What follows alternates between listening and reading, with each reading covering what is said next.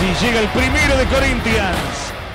Son momentos muy bonitos en nuestra carrera, competir con, con el mejor jugador del mundo, el mejor delantero del mundo.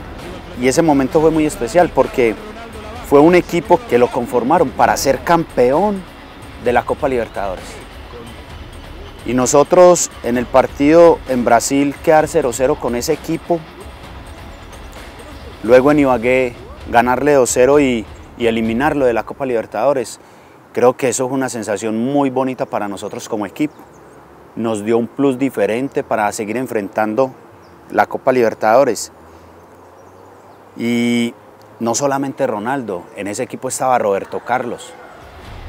En ese equipo estaban jugadores de grandísimo nivel, jugadores mundialistas. Y nosotros un equipo que apenas empezaba o llevaba pocos años de tomar un rótulo como grande de Colombia, ¿cierto? Eliminarlo fue para nosotros un momento de alegría, nosotros en el camerino lo disfrutamos mucho y más lo disfrutamos cuando Ronaldo le mandó la camisa a varios jugadores del equipo y nos mandó a felicitar con el utilero de ese equipo en ese momento y nos dice que teníamos un grande equipo, un grandioso equipo.